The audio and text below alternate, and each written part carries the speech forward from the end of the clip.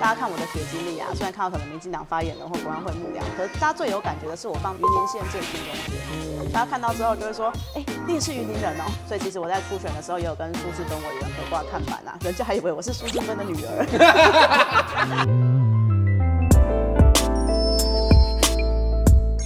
欢迎收看这一集的四八六会客室。我们今天邀请到的这一位来宾呢，是民进党港湖区市议员的参选人。何梦画何小姐，Hello，大家好。是，哎，梦画，我记得哦，你之前以前好像是有负责什么国安会的什么对日交流。对，其实是国安会我的咨询委员，他负责的是对日关系相关的工作。对啊，所以其实因为其他国安会很神秘嘛，那我就讲这一块会大家会比较容易了解，因为其实每个咨询委员他们都有自己的专长。对，你怎么会进去这个这个？国安会这个里头呢，这听起来就好像感觉很很厉害耶。因为大家其实一开始真的看到国安会的时候，就觉得它非常的神秘，就是说你们是在什么神秘的地方？其实国安会在总统府里面，然后他然后这些国安会的咨询委员，他们是算是总统的也是幕僚啦，就是提供一些不管是。军事、国安或是外交、经济相关的政策的的意见。那我那时候是从党部离开了之后，那我国安会的那个老板，那个林成伟委员，他刚好从日本回来，他本来是日本的教授。那其实我在学生时代就跟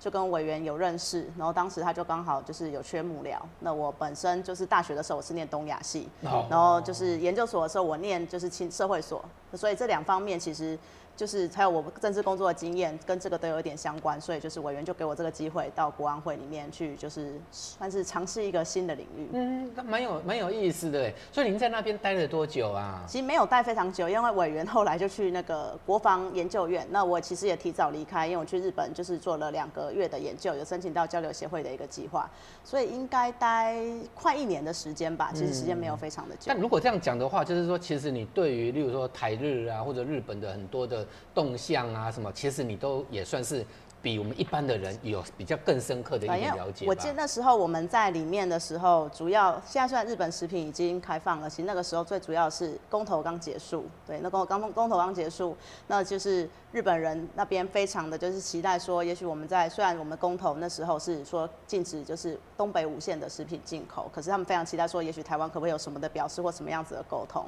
所以那时候我们办公室其实有一部分都是在负责相关事务的协调，嗯然后还有一些其实。大大战略的方向，例如说，其实现在我觉得已经战略明朗化非常多了。那其实我们在那个时候有很多可能跟日日方啊，或是美方的沟通，很多都是要台面下的。大可我觉得现在的国际形势比较不一样了，让很多东西可以到台面上给大家来看到。我觉得这也让我觉得外交工作可以好做非常的多。哦，所以你觉得最近这几年的话啊，或应该这么说啦，就是我们台湾在那个蔡英文总统那个领导之下。就是对外的能见度，以及对于国际的很多国家的那个友好程度，应该是提高非常多。我觉得提高很多，而且我觉得外交人员他们现在的成就感应该会比较高，因为就跟我刚刚讲的，以前我们的外交工作很多都是我们有实质上的一些作为，可是也许对方就会希望说，哎，我们在表面上跟媒体曝光的或什么，希望不要这么的多，会希望说，就是因为还是。考量到中中国的心情，都会希望说有些地方我们实质上有有有交流就好了，可不可以不要在媒体上讲？可是我觉得随着可能中国方面他们片面的改变，不管是台海的现状，或是甚至是日本或是东南亚那边，他们的动作都非常的大，对，然后使大家不管是我们或者是美国、日本，甚至澳洲，大家都觉得说中国的威胁非常的大，所以让我们这边亚太有一个大家。就是民主国家可以一起同盟的机会，嗯，然后一起来对抗中国，然后台湾也被加入到这个同盟之中。我觉得台湾人出去外面的那种自信心，我觉得是大大的有提升。是，那我刚刚为什么要提到这些呢？其实你看梦啊，从你以前的，例如说你在学习，对不对啊？在学生时代或者是研究的这方面，到后来，例如说进入了那个国安国安会这个这个部分。那你怎么忽然这么跳痛？你你怎么会忽然想说要投入这个 那个带意识的这个选举？其实我觉得没有很跳痛啦，因为我在国安会之前，我是当民进党的发言人跟青年部的主任。其实我一直都是在做政治相关的工作。那我觉得政治相关的工作到了某一个程度之后，你就开始去想说，哎。我是要一直都走可能幕僚的身份，或者是要走到就是前面当代议士来争取一个可以有更多我觉得是自己的可以表达自己的意见跟想法的一个空间。然后我刚好就是在那段时间就经历到一个这样子的选择。那后来就觉得说。我觉得到还是自己能够决定一些事情，例如说我自己比较在乎的政策，不管是亲子的政策，或是宜居生活，或者是台北市更加的国际化，然后更加的漂亮，美学政策相关，这都是我希望说以后可以到市议会里面做的。所以我希望说可以自己的声音能够更加的发挥，所以决定自己来投入这个市议员的选举。所以孟华，您从小到大都是住台北吗？也没有，我在云林长大。哦，我记得，你好像是五岁的时候搬到云林。对对对，今天我我们家是开帆布工厂，所以我就是小时候我都在云林长大，到大学之后才又上来。所以，我们从这种一般家庭出生的小孩，我觉得做走政治这条路，其实家里一开始都有点担心呐。对我家一开始的时候，我妈妈觉得说可能太累了，然后就会非常疑惑说，到底你真的决定要参选吗？那我爸爸是其实是对我每一个选择都很尊重。不过我觉得就我们这样子的家庭，这样子背景出身的年轻人，在走这个这条路是真的。真的还蛮辛苦的，这么一步一路走来，所以其实云林人这个身份，我觉得就对我们这种南部上来台北的小孩来说，非常的亲切。因为我现在其实，在很多拜票拜访的过程中，大家看我的学经历啊，虽然看到可能民进党发言人或国安会幕僚，可是大家最有感觉的是我放那个我那个国中高中的学历，云林县振兴中学。嗯，大家看到之后就会说，哎，你也是云林人哦。嗯，对，然后云林人们就会特别。多跟我讲个两句话，或是多跟我要几包文宣，就是回去来跟大家宣传说，哎，有一个云林的可能小孩子在台北要来要来这里打拼，要来选举。所以其实我在初选的时候也有跟苏志芬委员合挂看板啊，人家还以为我是苏志芬的女儿。对，现在有非常多的乡亲到现到现在都还问说你是苏志芬的早见，我都说 不是，我们都是云林人。我就请县长来帮我，就是拉台背书，就希望可以让更多云林人认识我。对，据我知道啊，云林好像在台北也有个同乡会。对，就是其实我们云林人在台北跟新北都非常的多，因为其实云林本身就是一个比较穷困的县市，所以我们非常多的子弟们就是年纪纪轻轻就要来到就是其他的县市来打拼。对，我很多的高中同学。在留在云林的比例可能也不高，可能就大概两三成而已，大部分都还是在台中或是台北，就是来打拼。然后有在桃园跟新竹也有，现在台北越来越贵，所以大家可能就是到桃园、新竹也越来越多。嗯，对啊，所以。我觉得在这段过程中有非常多已经在台北落地生根的云林人们，就是也给我非常大的温暖跟鼓励。每次有听到就是说，例如说我们那个中南部啊，很多或者是华东的朋友啊，然后那个年轻的那个孩子啊，然后来北部工作，因为北部毕竟工作机会是比较多嘛。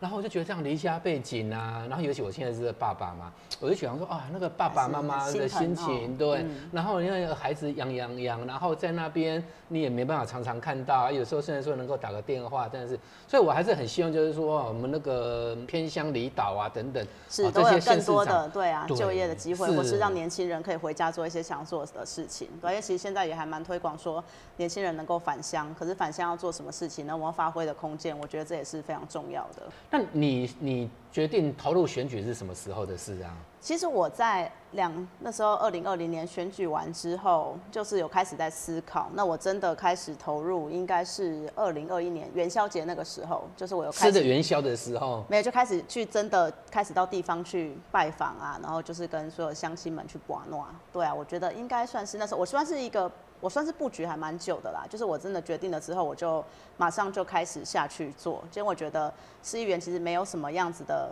图，就是 paper 啦，我觉得就是一步一脚印，然后如何让大家认识我们。虽然我当过民进党的发言人，不过其实认识我们的比例还是非常的少，所以我们要更努力的让大家知道说，哎，有一个新人，民进党有一个新人想要出来。所以我在我大概花了要两年的时间，就是在地方上就开始慢慢的从，我觉得也算是真的一个从零到有慢慢累积的一个过程。而且这一次哦，你们港湖区的这民进党的初选哦，很激烈，对，六个出来选，个选四个嘛，是啊。那后来有两个就没选上。对啊，因为其实有空间的地方，大家都会想要争取这个机会啦，所以我觉得竞争是必是难免的。然后因为我们刚好那边就有一席妇女保障的名额，所以我们在初选的时候。哦，是真的不输大选的激烈，而且是电话民调，你也不知道电话到底打到哪里去，所以我觉得大家那种紧张感又更强大。那以你现在来看呢？你觉得啊，那个港湖区啊，我们就以这个地方来讲，你觉得港湖区现在最大的问题是什么？其实我觉得港湖区的问题，它离台北市有一段距离，然后其实我们可以知道嘛。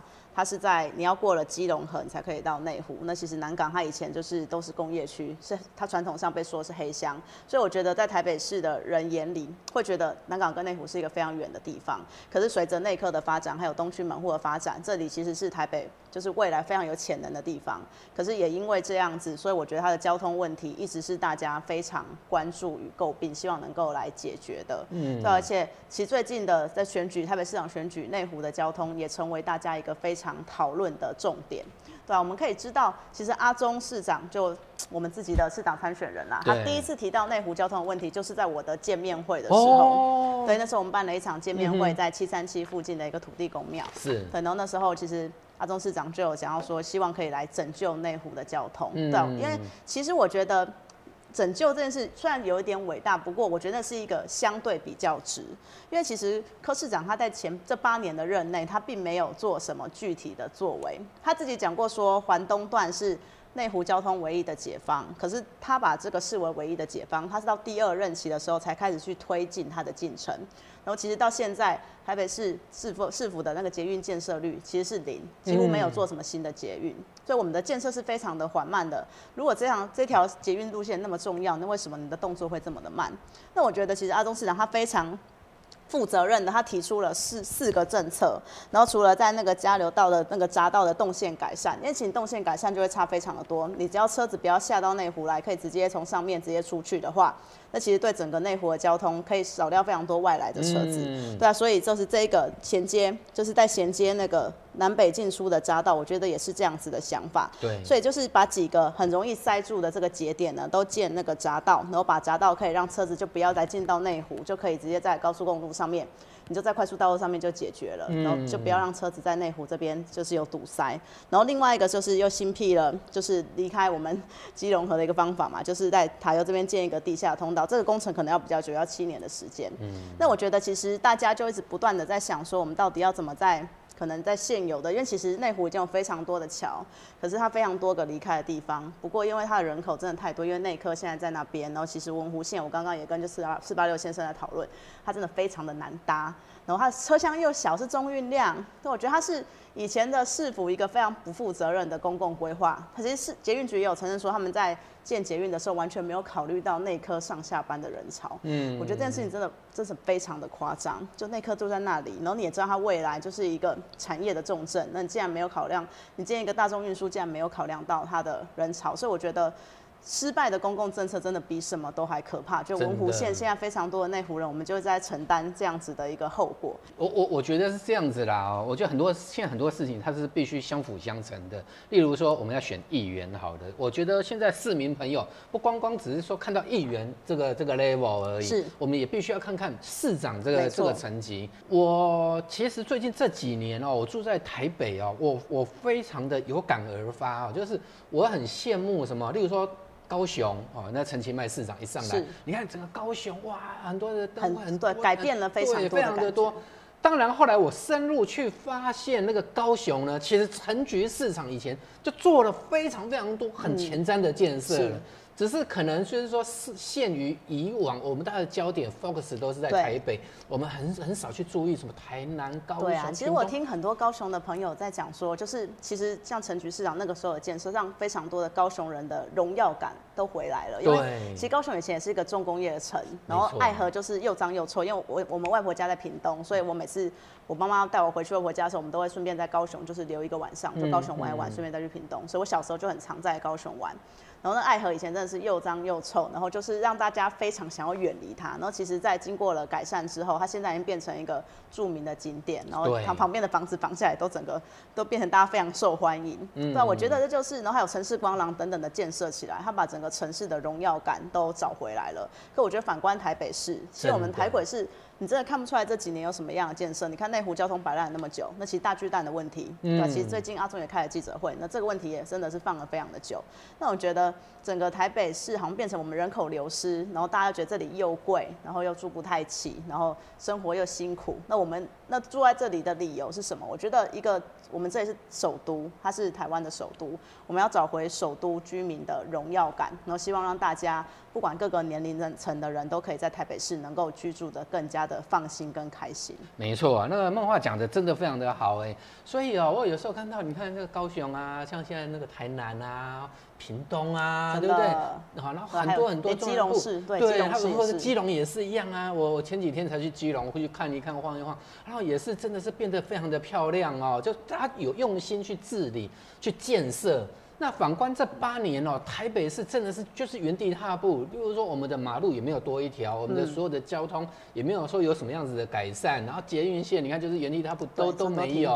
是，然后好像就就。就没有什么建设，只是说为了还债还债就就这样。那如果只是能要还债，那我来当市长就好了啊，对不对？我一定比柯文哲更懂得如何去开源节流啊。就市长要做的是整个整城市整体的规划，那甚至我觉得也不只是任内可以完成事情，甚至是可以影响到我们后面好几代的一些规划跟建设。是啊，对啊，如何让我们整个首都的生活可以更舒适，然后更加的有特色。让大家，我觉得不只是像我们现在大家都去台北人都喜欢去高雄或是台南玩嘛。那其实我们可不可以让更多人来到台北玩，而且来的是多次，而不是每次来？其实听到南部朋友上来都是工作。嗯。对，要上来台北玩其实很少，为什么会这个样子？然后其实连士林夜市，它现在也面临到一个是比较没落的状况。其实我觉得东区也差很多。对。对，其实我大学的时候很常去逛东区，那现在其实感觉都差非常的多。所以我们要怎么找回就是？台北市的，我觉得是除了振经济的商圈的振兴之外，也找回让更多人，不管是台湾的朋友或是国外的朋友们，都能够不断的来到这个城市，然后非常喜欢这里。对，刚刚梦话也讲到，就是说我们台北市的人口流失的这个问题，